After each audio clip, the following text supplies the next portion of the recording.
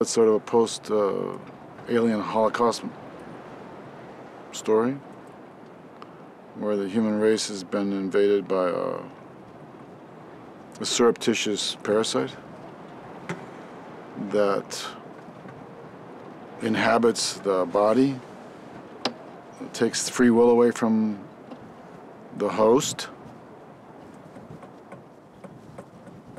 The invader, the parasite's called the souls. One from the human race and one from the invading alien race who commune inside the person of a human. So you have these two beings in one body, and they have a relationship in which they begin to entertain um, wisdom from either side. There are many, many interesting questions in the screenplay. So I, that's why I leapt at it. I also leapt at it because I just love the writing in it. I, I loved Andrew's writing, and um, and I, and I and then there are two people. There's Andrew the writer, and there's Andrew the director, and somehow or other this guy has managed to do what few writer directors do, which is separate the two.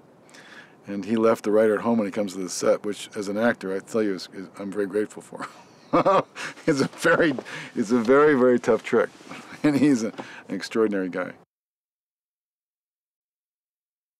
It's the rarest privilege to be working with great young actors um, who are really unbelievably um, enthusiastic, open, intelligent, skilled. I mean, disciplined. It's it's it's uh, it's wonderful.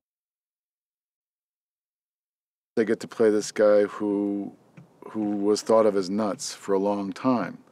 Some people who are thought of as nuts really are nuts. you know, they don't get their reputation saved by having a, an alien race arrive by spaceships one day and proving what cool guys they really were. Some of them are just nuts. But um, but still, it's a, it's a, it's a great spirit.